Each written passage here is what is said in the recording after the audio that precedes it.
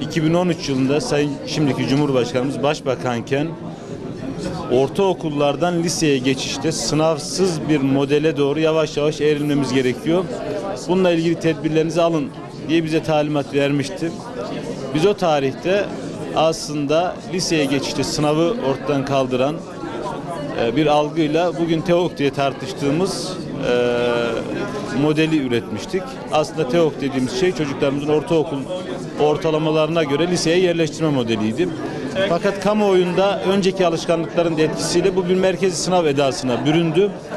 Fakat biz bu esnada zaten ortaokullardan liselere geçişte sınavsız geçişle ilgili değişik modeller üretmiştik. Şu anda da elimizde bu modellere ilişkin e, alternatifler var. E, bunlardan bir kısmını Sayın Başbakanımız geçen hafta canlı yayında bir televizyon programında söyledi. Onların da içerisinde bulunduğu ama ana çerçevesi ortaokullardan liseye geçişte herhangi bir merkezi sınavın olmadığı çocuklarımızın e, sınav baskısı stresmeden stresini hissetmeden liselere yerleştir bir yerleştirildiği bir model e, ana felsefesi olan alternatifler var. Biz bunları e, hem Bakanlar Kurulumuzda hem Sayın Cumhurbaşkanımızla paylaştıktan sonra detaylarını da kamuoyuna sunup süreci başlatmış olacağız.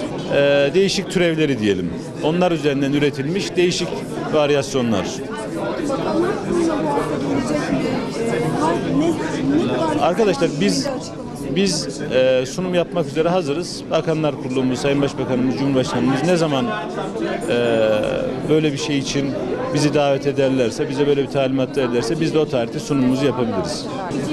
Kamuoyunda tartışılan, e, fikir beyan edilen her türlü modelin içinde yer aldığı bir alternatif. Ama tekrar söyleyeyim, ana felsefesi çocukların liseye geçişte herhangi bir merkezi sınavın olmadığı, çocukların daha çok yeteneklerine, ilgilerine göre liselere yerleştirildiği bir model.